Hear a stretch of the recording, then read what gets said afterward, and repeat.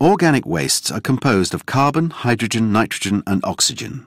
The majority, resulting from the death of living creatures, animal or vegetal, are generally destroyed and digested by bacteria.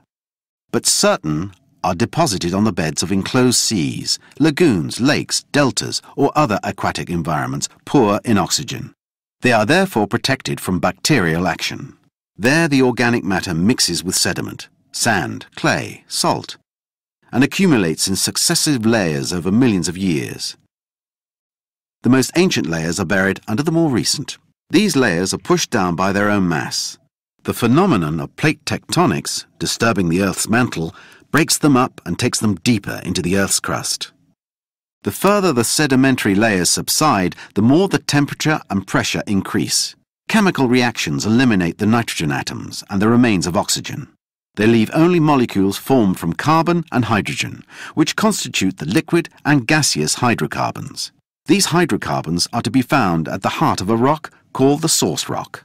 The hydrocarbons move around below ground because, being lighter than water, they tend to make their way towards the surface of the earth. If nothing stops them, they will escape and ooze out onto the surface or solidify into bitumen, losing their volatile constituents. But if during the course of their migration the hydrocarbons meet an impermeable layer, which is called a seal or cap rock, they are trapped below in the microscopic interstices and cracks of a rock called the reservoir rock.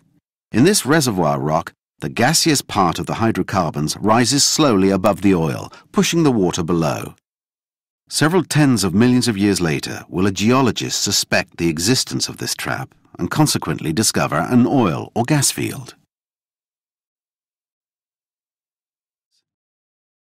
The most ancient layers are buried under the more recent. These layers are pushed down by their own mass. The phenomenon of plate tectonics, disturbing the Earth's mantle, breaks them up and takes them deeper into the Earth's crust. The further the sedimentary layers subside, the more the temperature and pressure